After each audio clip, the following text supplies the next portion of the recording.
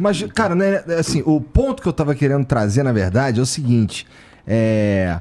Dá pra colocar o design inteligente no mesmo balaio da, do terraplanismo, cara? Porque eu acho que não. É porque, justamente porque, assim, dá pra gente ver que a Terra não é plana, Não, tá ligado? dá pra. Eu digo que não é a mesma coisa, Ah. mas não por esse motivo. Ah, Eu digo que não é a mesma coisa. Porque assim, e aí eu vou falar agora, eu vou, vou ter que responder depois, mas eu vou só falando um negócio. O design inteligente, da forma como ele se propõe, ele é uma pseudociência. A Terra plana, ela é mais do que isso. O terraplanismo é uma teoria da conspiração. Então são duas coisas. É, E aí a gente pode falar o quê, né? Tipo, sei lá, uma, uma matilha é o coletivo de, de, Lobo. de lobos. É verdade. A alcateia de cachorro. Não. A matilha de cachorro ou a alcateia de lobo? Ah, é, agora. ah foda-se. Ah, enfim, Tá. uma manada é um coletivo de elefantes, sei lá, uma coisa assim. Então, a teoria da conspiração é o coletivo de pseudociências. É isso Então- até que eu ia falar, cara, quando eu falei lá do Stephen Curry. Nessa época, em 2015, o Curry chegou a falar: Ah, tá vendo aí que esse negócio de terra plana, o homem também não pisou na Lua. Então, o que a gente tava falando até ali embaixo, né? Os- o- a teoria da conspiração, ela, ela começa a pegar um pedacinho de cada coisa. Ele fala, pô, esse negócio aqui é mesmo, cara, o homem não pisou na Lua. Pô, vou pegar esse negócio, mais um pouquinho aqui da Terra plana, mais um pouquinho ali do, do, criança, do, do design A inteligente. Terra dou plana é a mãe de todos mesmo, né? eu dou uma pitada É, na de... verdade, Não é ela, a é, mãe, a, fi- mas ela é- é a filha. Ela é, É. uma filha de uma suruba gigantesca. É, é, entendeu? é, que ninguém sabe É. quem é o pai e a mãe, mas até, tipo, o, até é- o segurança ali, ele tava falando comigo e falou assim, cara, mas e a Terra Oca? Aí eu falei, pô, a Terra Oca é uma teoria de conspiração muito anterior à Terra plana. fight com a Terra plana, porque ou a Terra é plana ou é oca, né? E é Por isso que muito eu falei, o- anterior, o, legal é a teoria da Terra cumbuca, porque aí você tem a É. metade redonda, metade plana, por dentro é oco, pronto, você fala mais isso. A Terra cumbuca, é essa que é a coisa. Mas é isso, cara. Os caras, eles vão e, e tem um, um diretor de cinema que é muito legal, que é o, o Robert, o do Moonfall aí agora, Ah. que é o mesmo do Godzilla, entendeu? O Godzilla, na verdade, ele é uma junção de várias teorias de conspiração. O Moonfall, que é um filme que pa- passou aí há dois anos atrás, também é um, é um apanhado de pequenas pitadas de algumas teorias de conspiração. Então é isso aí mesmo. Pro... A Terra plana, ela, ela se alimentou de várias coisinhas que estavam por aí. Pô, ah, tem o negócio da Lua, tem o negócio da Terra É que não dá pra ser terraplanista sem ser criacionista também. E- e- exato, Né? e sem negar um monte de coisas. É. Então é óbvio, se você é terraplanista, você vai ter. a- esse- acho que todos os terraplanistas, acho que tirando o pessoal dos ETs, mas a- acho que todos os terraplanistas são, são criacionistas bíblicos, né? Sim, porque. Essencialmente ah, bíblicos. Mas aí, aí né? falando sério Acho agora. que, acho que mu- muçulmano Não, não tem. Mas aí terraplanista só falando sério, sobre Até a porque origem. também que se rasgue no meio, né? Porque o- a, a ciência islâmica foi uma das que Claro. mais ajudou nesse negócio, né? Super Então importante. é, é pisar nos ancestrais, né? Mas falando sério agora, um pouco da. Falando sério da Terra plana é foda, né? Mas falando, a, a origem disso aí, ela é uma origem bíblica, né? Eles vão buscar a origem na Bíblia, entendeu? Aham. Porque dizem eles que lá tá escrito que a Terra foi plana. Tanto E que tá. tem toda aquela história que fala assim: por que, que a Terra é plana e os outros planetas são redondos? Porque, na verdade, a Terra, para eles, não é um planeta, é o reino do Criador. E ah, por que, que, que não fosse, existe... pô, ela é plana porque o nome é planeta, senão seria Exato, É, seria redondeta. redondeta, redondeta. né? É, então, isso aí o pessoal usou. Ou seria, ou seria globeta. tá É. Mas o que o pessoal fala é isso. Então tem, tem essa origem, né? Muito calcada na- no negócio da Bíblia. Aí o pessoal fala, ah, mas você tá falando que. Não, cara, eu não tô falando que você que acredita na Bíblia é terraplanista, não. Não, eu tô mas falando eu- que eles foram buscar. Exato. Por que, que eles buscam isso? Porque numa discussão eles falam assim. Pô, tu vai refutar a Bíblia? Exatamente, é isso que já me falaram. Aí, ó, como que você acredita nesse cara aí? Ele refuta a Bíblia, cara, a palavra do Criador, e você vai ficar a favor dele? Aí a gente entra na na coisa. Quando entra na parte de religião, por, por que religião não é ciência? Por causa disso. Isso entra nessa questão. Você não questiona mais. A partir daquele momento, você fala, ó, não tenho o que argumentar. Você está dando uma, uma resposta. Vai, do ponto de vista sociológico, né, o termo correto é uma resposta mágica. É. É um pensamento mágico. Eu não tenho como. É, é- é intangível, já não é mais assunto da ciência. Então, Mas Aí volta lá no negócio que- da pseudociência. Por que, que Não, é, por que então. que tu disse que o design inteligente é pseudociência? O que, que é pseudociência, então? É, então, o que acontece? Ahn, como você falou, a Terra plana, ela junta um monte de coisas. Por quê? Porque você já é, já é criacionista bíblico, obviamente vai negar a mudança climática, obviamente vai negar que o homem foi à Lua, obviamente vai negar, uh, sei lá, uh, enfim, uma série de outras coisas, né? Que a, a gravidade, É, coisas Você não assim. lê livro, porque o livro ele tá querendo te fazer sua cabeça. Tem os eles aí que ninguém sabe quem E é, aí a- que precisam esconder esse negócio de Exato. você. Aí começa toda uma Aí conspiração gigante. que liga esse negócio. A teoria da conspiração, né, aquilo que eu brinco, né, são pequenas, são é, pequenas verdades unidas por grandes mentiras, né? Então você pega uma outra coisinha da realidade que te, te convém e vai juntando. E para isso você vai acumulando coisas, né? Bom, o Olavo fazia isso direto, né? O Olavo ele era um, um- um teórico da conspiração muito bom, né, nesse sentido, né, que ele juntava um monte de ideia maluca. Agora, a pseudociência não. A pseudociência é uma coisa muito mais simples, né? É uma unidade muito mais coisa. A gente pode dizer, então, que a pseudociência é um ser unicelular. a teoria da conspiração virou multicelular. Ah, a pseudociência ah, entra em, há algumas discussões filosóficas sobre definição de pseudociência, inclusive isso daí eu estava lendo há alguns meses atrás. Mas basicamente é qual é para isso você tem que dizer o que é ciência, o que, que é a ciência, como a ciência funciona, né? E basicamente a função da ciência é descrever o universo observável e tentar explicar como as coisas são. Como as coisas funcionam e como que as coisas estão aqui. Entendeu? Então, é basicamente, essa é a função da ciência. A função da ciência não é dar sentido para a vida.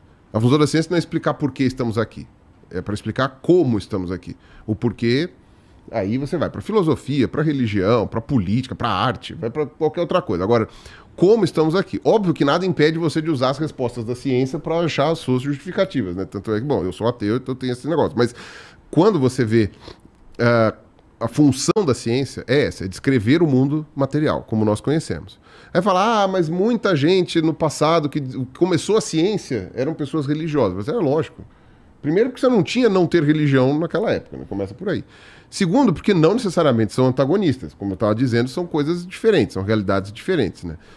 E, e terceiro, justamente isso é que é o mais interessante. Mesmo eles sendo religiosos, eles trabalharam com meios materiais. Então, o Pasteur, o pessoal fala, não, o Pasteur era religioso. Tudo bem, mas o experimento que ele fez não foi religioso. Quando ele entortou o bico, de, o bico de, de, de, da, do tubo lá para ver se havia surgimento espontâneo de vida, mas ele tinha esterilizado com fogo e como a bactéria não conseguia passar pelo, pelo tubo todo enrolado, não aconteceu. Então, tipo, ele fez um teste que não teve nada de, de religioso, religioso, ali. Aquele teste foi um teste muito. Co... O Newton, Newton era um cara super religioso, não sei o quê. E realmente, inclusive, era um cara fanático religioso. Mas todas as. Não tem Deus em nenhuma conta. Não é que não tem Deus. Aí quem acredita em Deus vai ver Deus em tudo. Mas estou falando assim, ele não apelou para Deus em nenhuma das contas que ele fez. E nenhuma das descrições que ele fez. Ele descreveu a gravitação universal, não sei o que lá sem, sem dizer que, tipo, ó, a Terra tá pendurada no universo porque Deus quis. Ele falou, tudo bem, pode até ser que seja porque Deus quis. Mas como funciona? Funciona assim, assim. Como que Deus quis? Assim, assim, assim, assim, assim, assim, entendeu? Então, a lógica da ciência, ela é obrigatoriamente descritiva e ela precisa estar obrigatoriamente calcada no mundo material.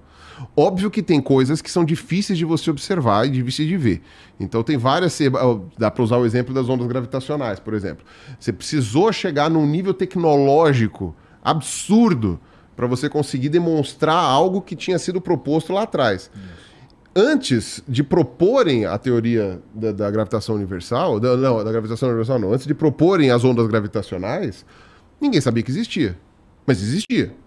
Estava por aqui. Então tem muita coisa que existe que a gente ainda não conhece. Porque ou a gente não propôs como ideia, ou não temos métodos ainda para poder observar. Quando o Alfred Wegener propôs que os continentes se mexiam, né, o pessoal achou que era. Ah, não vai bater palco, pra, pra, dar palco para maluco. Maluco. Ba bater palma para maluco, né? O pessoal um usa. tempo, aliás. Só que e foi, foi um tempo, demorou, ele, ele só foi reconhecido pós-morte, né? O, o, o Wegener. Né? Tudo bem que o Wegener, ele, ele, realmente ele tinha parafusos a menos, mas ele estava certo. Né? O importante é isso.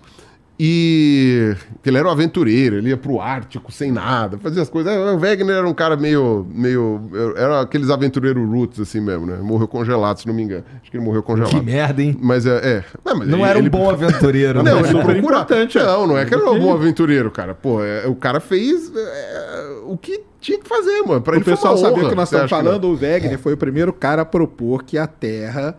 É, existem placas que se mexem, a deriva continental. O pessoal acha que isso é muito antigo, mas não é, cara. Isso é 1915. É, 1915. Que ele propôs, né? Mas aí depois demorou um tempo Como será que, pra... demorou Como uns será 40? que ele chegou a essa conclusão? Eu posso explicar. Isso eu sei. Então vai. O, ele fez várias comparações. Bom, aí teria que ver qual, qual era o background do Wegener, que aí eu não vou lembrar, porque ele tinha, obviamente, né, sempre né, subindo em ombros de gigantes. Então o Wegener ele tinha as ideias prévias de outros pesquisadores. Se não me engano, tinha algum russo, porque sempre tem um russo, né? sempre tem. Naquela época, os lá... primeiros que propunham alguma coisa sempre tinha um russo. E aí ele. O, o, o Wegener chegou e ele comparou. Primeira, uma coisa, uma coisa bastante simples. Ele chegou e falou assim: olha a costa da América do Sul encaixa ele direitinho viu o recorte, na África. Cara, o recorte. Ele pegou os continentes ele falou: olha, junta tudo bonitinho. Olha que interessante, eles encaixam. Isso é um argumento dos caras do design inteligente, inclusive. Pode ser. Mas aí é, essa é a. É, a é, é retroativo, né? A lógica retroativa. Mas eu posso explicar depois isso. Mas enfim, você tem essa questão né, do, do negócio encaixa. Aí ele foi fazer outras comparações, né? Tipo, é, alguns fósseis que já eram conhecidos Isso. na época tinham tanto na América do Sul quanto na África. Ele falou, pô, o negócio encaixa certinho, não sei o quê. E e tinha mais algumas evidências. Ah, os próprios Tem recortes geológicos, isso, né? Os próprios os recortes geológicos que ele olhava e falava, pô, mas isso aqui tá igualzinho Tem do lado de lá. Tem uma camada aqui que é igual do outro lado. É como isso aqui, pô, isso aqui só podia estar tá junto, em algum momento isso aqui tava junto, cara. Só que o que acontece, que é uma coisa muito complicada mesmo com quem eh, geralmente é o primeiro a propor uma ideia. A explicação que ele propôs né, era uma explicação que não, não, não era ideal, não era mais adequada. A gente pode fazer um exemplo do ponto de vista de evolução com o Lamarck. Lamarck teve uma ideia fantástica, uhum. mas a explicação que ele deu não estava bem correta. E aí também foi tirado de maluco, né? Lamarck também morreu na miséria. Aí só vamos lembrar que o Wegener, cara, é aquilo lá que a gente fez. Ele propôs isso, cara, lá no começo do, dos anos 1900, entendeu? Ele propôs. Não estava ainda comprovado. Isso aí foi, demorou décadas, cara. 50, 40 anos para poder ser comprovado. E quando o Wegener propôs a ideia dele, estavam começando os testes radioisotópicos de datação. Estavam começando lá. Né, o Holmes lá, não lembro agora o nome Isso. do cara lá, que ele foi um dos primeiros a fazer o, a, a, as datações radioisotópicas e tal. Então o pessoal estava ainda fazendo métodos comparativos, tentando entender se os cálculos estavam corretos, tal, um negócio assim. Isso só foi bem estabelecido e as pessoas começaram a usar com mais, com mais amplitude lá pela década de 40, alguma coisa assim, 40, 50. E, e, e, e assim, uh, quando foram pegar a ideia do Wegener, não tinha ainda o método de explicação disso. Então, por isso que ele era considerado um doido. Quando o pessoal começou a fazer as datações radioisotôpicas, uh, tinha mais justificativas para entender para você entender o, quando uma rocha era mais nova que a outra. Os caras fizeram a datação do fundo do Atlântico e eles foram vendo que quanto mais para longe do meio, você tem a cordilheira do meio do Atlântico, aqui a rocha é nova. Quanto mais você vai chegando perto dos continentes da África, da América do Sul, a rocha vai ficando velha. É, é, assim, é, é, certinho, assim. Você vê, tipo, o pessoal faz a coleta submarina, vai lá, pega. E, e é tá. simétrico e ainda. Vai ficar, e é, é simétrico, exatamente. Aí, aí vão fazer pelo resto do mundo. Fizeram pro resto do mundo, também deu isso. Ah, mas ainda não tem uma explicação muito correta, porque tinha a ver também com a descrição do interior da Terra, do manto. Aí viu que não é exatamente que a Terra desliza, os continentes deslizam como se fosse na água, né? Como se estivesse colocando uma tábua na água, porque não se comporta como líquido embaixo, né? Você tem uma coisa com extrema pressão, não sei o quê, mas é justamente por causa disso daí. De extrusão de material do subsolo por um lado, que empurra automaticamente o negócio para o outro. E aí, de um lado, colide e do outro afasta. Então, não é exatamente. Aí o pessoal mudou a ideia de deriva continental para tectônica de placas. Que aí é a ideia do Wegener, que estava correto, com uma explicação muito mais refinada uhum. com os dados que a gente adquiriu depois. E no caso da evolução foi a mesma coisa. Você teve propostas evolutivas antes, você teve até na Grécia Antiga algumas propostas, teve árabes também. Mas a, da, da, do tempo recente, a primeira proposta evolutiva mais séria foi com Lamarck. Ele propôs uma ideia que estava correta, com explicações e, e alguns ruídos que realmente estavam muito esquisitos, mas era o que dava para o Lamarck fazer na época. Né? E, e aí, uh, décadas depois, foram propostos mecanismos mais refinados para explicar aquela verdade que o Lamarck estava observando. E é interessante, porque no caso não era só o Lamarck depois que observou aquilo. Vários outros observaram e falaram: putz, cara, mas uma espécie vira outra, velho. Não tem como explicar isso de outro jeito. Uma espécie vira outra.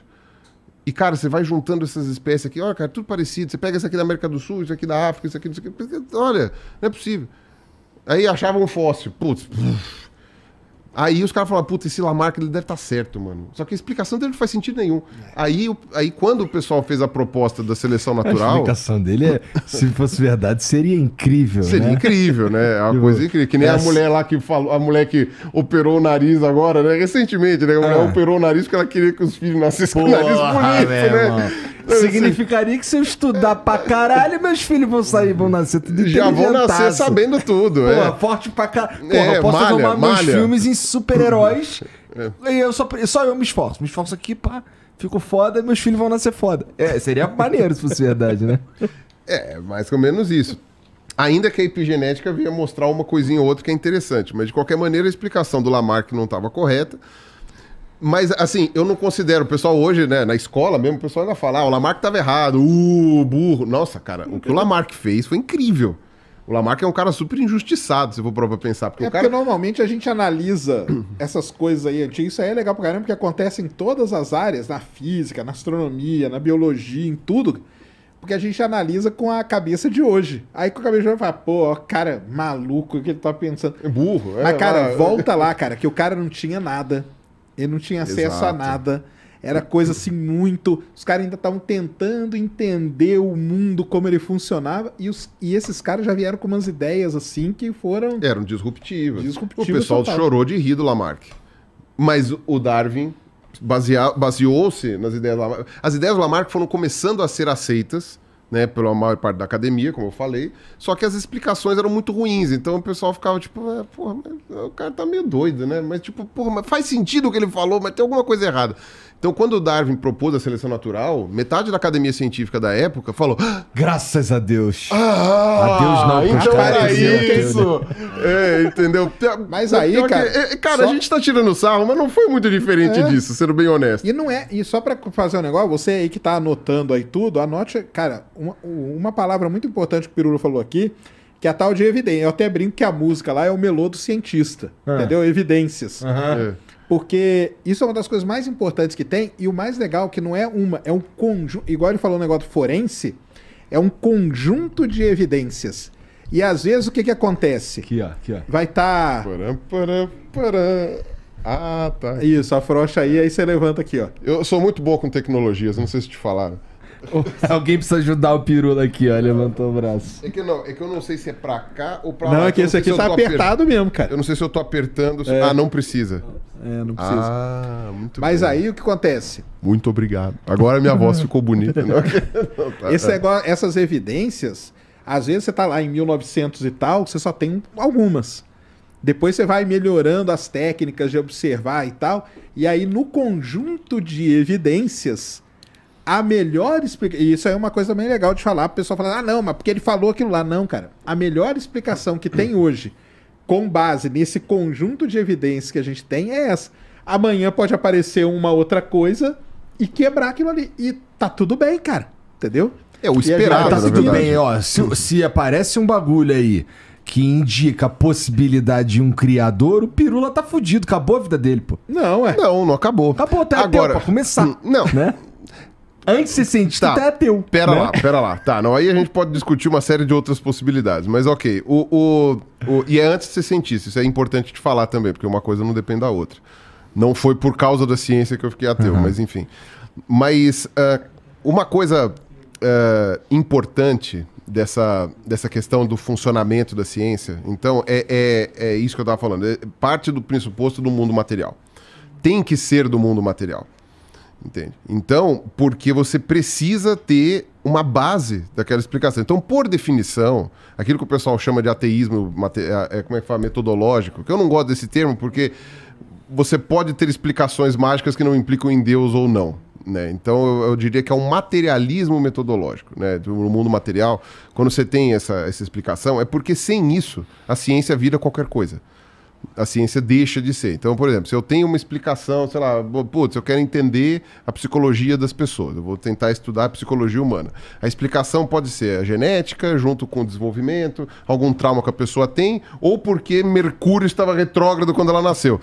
Tipo, você tem como avaliar o negócio do Mercúrio? Você não tem como avaliar, porque parte de uma força, de um, sei lá, de um princípio, de alguma coisa, que não tem, porque não é gravidade, não é, é a atração dos átomos, não é, não sei, sabe, não, não tem nada que justifique que Mercúrio mande qualquer coisa para nós. E também nada que diga que o psicológico da pessoa está vinculado à posição do astro no dia que ela nasceu.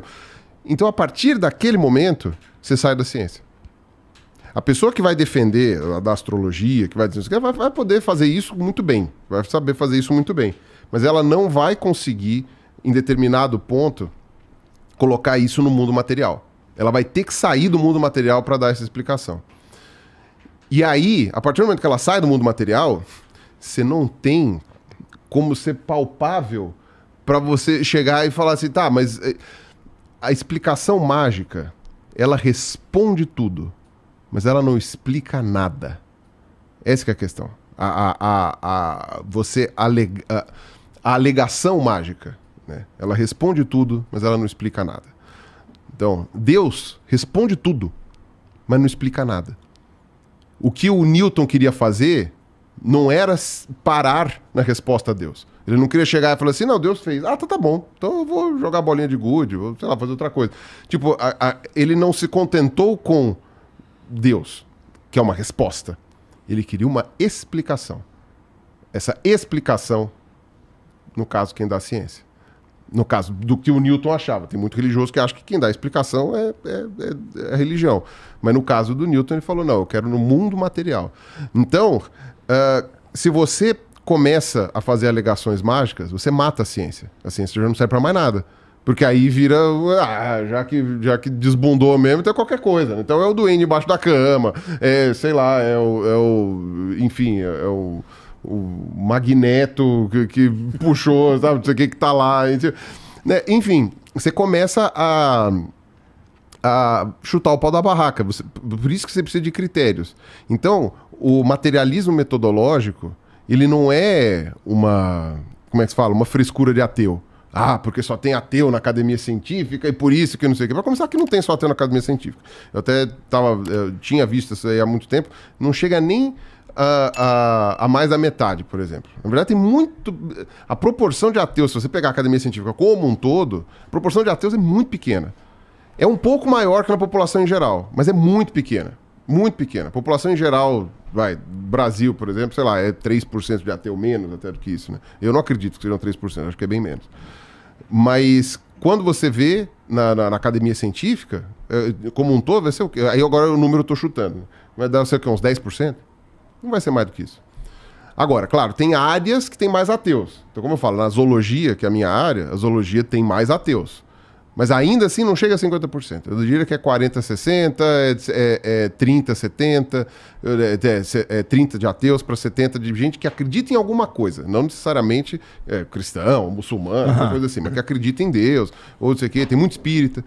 Então, uh, muita gente de matriz africana, de religião de matriz africana. Então, quando você vai ver isso daí, não é o materialismo metodológico, não é tipo o ateu que quer dominar a ciência, não. É você que não tá. Quem reclama disso é porque não está entendendo o papel da ciência. O papel da ciência não é questionar Deus, não é questionar a religião. Quer dizer, pode questionar aspectos da religião, como, por exemplo, o literalismo de textos antigos. Isso pode acontecer. Ou certas explicações, como astrologia, por exemplo, que é milenar, que é não sei o que, não sei o que lá, mas que você tem dados para demonstrar que, tipo, olha, não tem interferência nenhuma. Você está enxergando uma coisa que não tem, mas ok.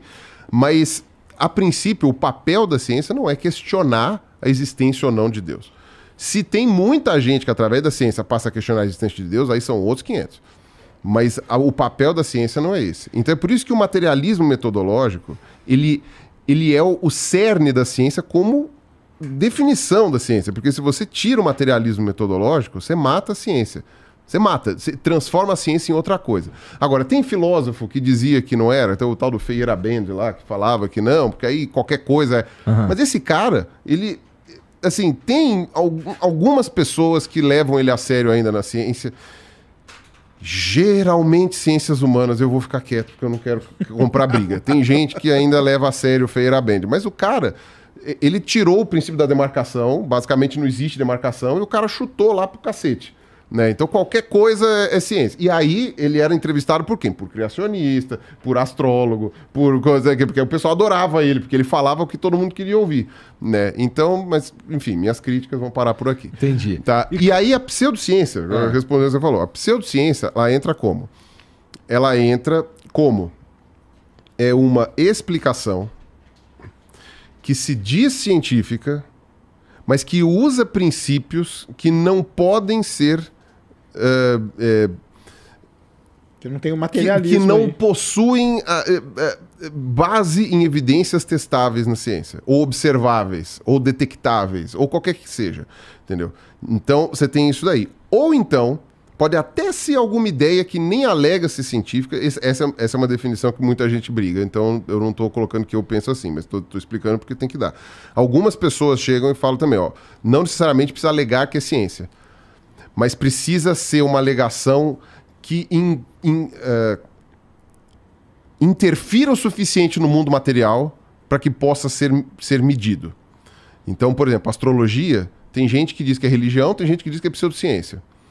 Porque aí tem, tem uma parte dos astrólogos que juram que são científicos. Aí isso daí já vira pseudociência, porque eles estão baseados em explicações espúrias que não, sabe, em dados espúrios que você não consegue, não consegue medir, não consegue testar, não consegue reproduzir. Repetir. Isso. Exato, É reproduzir, não faz predi a preditibilidade deles falha, prevê coisa, a predição dá errado em, em números grandes, né? Porque, ah, deu errado, deu certo para um, para dois, tá, tudo bem, mas isso daí é aleatório, você pode fazer, né, ou leitura fria, que o pessoal fala. Agora, tem uma parte dos astrólogos, que, do pessoal que defende a astrologia, que diz que não é ciência. Qual que é o teu signo? Ah, Adivinha. Né? Adivinha. Adoro isso, adoro isso. Né? Eu posso te falar uma coisa. Tem uma proporção de 1 para 12 de pessoas que acertam meu signo. é incrível. Aí Não vale olhar na Wikipedia. Mas enfim. ah, agora, quando o pessoal. ah, agora, tem um pessoal que diz que a astrologia não é ciência. É religião, é uma fé, é uma crença. Só que a astrologia é particularmente um tipo de, de, de área, vai, do conhecimento, a gente pode chamar assim, né? Cujas explicações interferem tanto no mundo material que mesmo que eles aleguem que não são ciência, a gente ainda pode chamar de pseudociência. Mas, de novo, eu não sei se eu concordo com essa definição. Eu acho ainda que para ser pseudociência tem que alegar ser científico. Mas há quem diga que nem isso precisa. Mas... ah, Interfere a ponto de nem contratar pessoas, né? Tem empresa que usa astrologia na hora de contratar. Tem empresa que usa ideia. astrologia, cuidado, vai ser pira. cancelado. Ca- Para, não fala mais, vai ser cancelado. Veja que eu, eu, eu, eu tô te protegendo. Aquele meme lá do desenhista que pensa lá do soldado. Tô eu protegendo o sacane aqui. Eu- Não, não, não, eu falo. Que pira, né? Mas, então, por exemplo, por que, que o design inteligente é uma pseudociência por definição? Por ele se baseia em duas coisas principais. Uma, a crítica à evolução. A evolução está errada, ponto. O pessoal do design inteligente usa uma crítica muito forte à evolução. Não todos. Todos. Existem uns caras que defendem o design inteligente para um ponto de partida. Todos. E a partir dali. Todos. Tá bom, Tô, então. tô falando pra você, todos. Você vai falar com qualquer uma dessas pessoas que defende o ponto de partida, em algum momento a pessoa vai questionar uma série de coisas muito simples.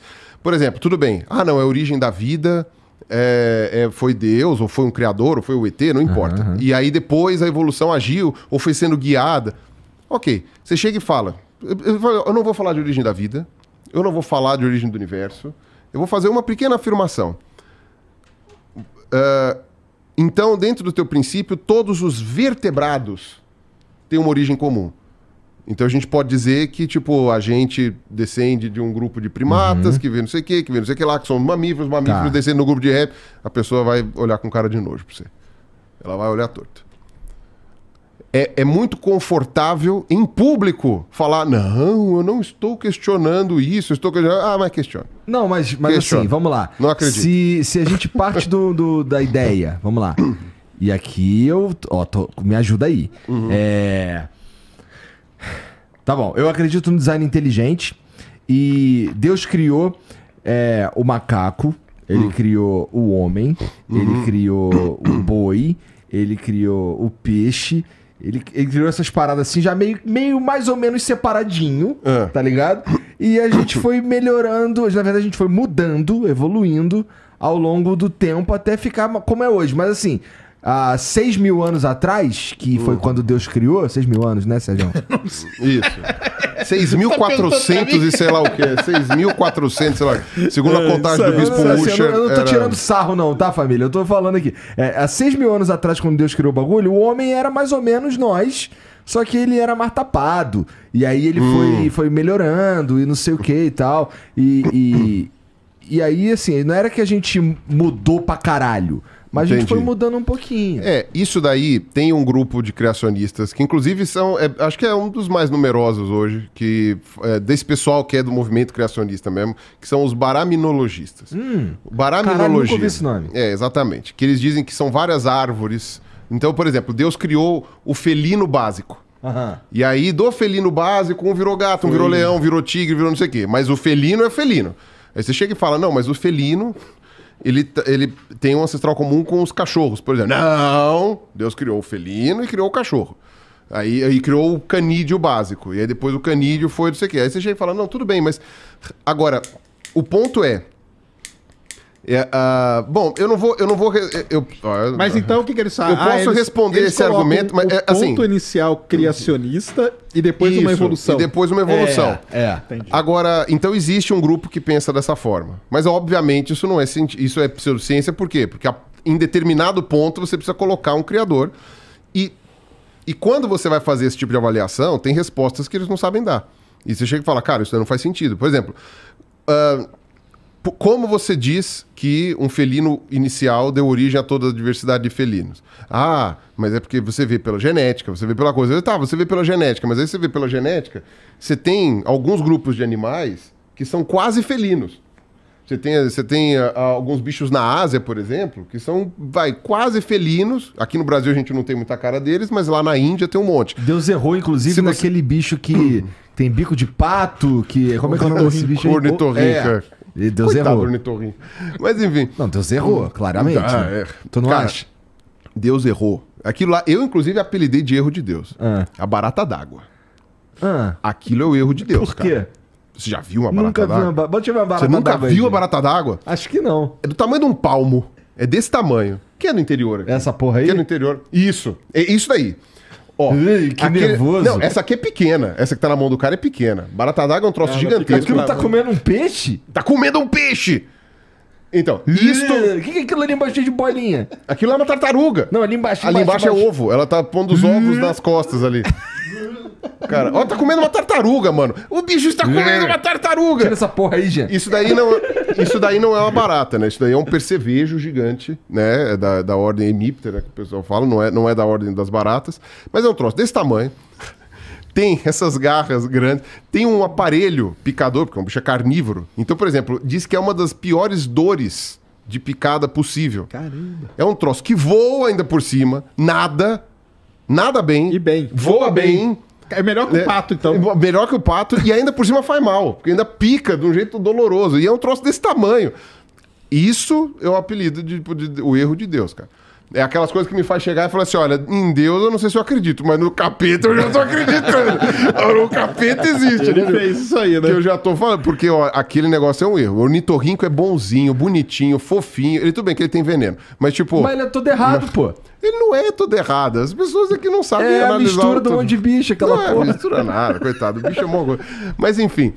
ah, então, a partir do momento que você esbarra nesse tipo de coisa, aí você chega e fala: por que, que você está parando a lógica da genética e da ancestralidade num felino inicial, Se a mesma lógica se aplica para a própria genética, se você vai para trás, para esses bichos que são quase felinos, que estão lá perto, e aí depois vem uma O que é hiena, um bicho quase e feio. aí depois você vai. Putz, tem um monte. Fala só Quer o nome ver? de um Pera aí, pô. é que eu tô tentando lembrar. Eu ia falar da civeta, mas eu acho que a civeta E- não é. Isso aí que o Peru tá falando é legal, porque é aquilo lá que ele falou antes, que o Ah, cara, vi. ele pega a genética pra mostrar um lado, mas ele não pega a mesma genética pra ir pro outro lado, entendeu? Aham. E aí você fala, "Ué, por que, que você não tá... Cara, que legal, você acha que a genética resolve isso? Então vamos pegar isso aí que você falou, já que você fala que a genética tá ok, e vamos aplicar ela aqui pra trás. Olha aqui, ó, como ela funciona também. Ah, não, mas aí não, porque aí daqui pra trás... Esse aqui é o negócio, entendeu? É aí que dá essa quebra aí de coisa que o pessoal É, fala. E aí tem que parar num ponto. Qual ponto? É um ponto arbitrário que você vai parar. Você vai parar em um, em um pedaço, porque a partir dali não dá. Então, eu dou um exemplo de teste de paternidade. Né? O, inclusive, um grupo de criacionistas muito, muito é, relevante no mundo, inclusive até bastante rico, que tenta encontrar a árvore genealógica completa da humanidade para chegar em Adão e Eva são os Mormons. Né? Ah, só que é aquela co- coisa interessante. Você chega e fala assim, tudo bem, você consegue provar, isso a ciência já fez, né? A ancestralidade comum de toda a humanidade, como espécie. Mas por que que até ali a genética funciona? Aí quando você vai pegar a genética do Neandertal, que existe, depois a genética do chimpanzé, do bonobo... Ah, não, ah, não, não, não. não. A partir daqui a genética já não funciona mais. As datações radioisotópicas são perfeitas até 6 mil anos. A partir- de 6 mil anos, ah, não, não, não. Aí a partir dali não, não funciona mais tal. É isso, é aplicar. Então, quer dizer, a, ciência é, a, é frase que o Pirula fala famosa, cara. A ciência só tá certa quando ela concorda comigo. Entendeu?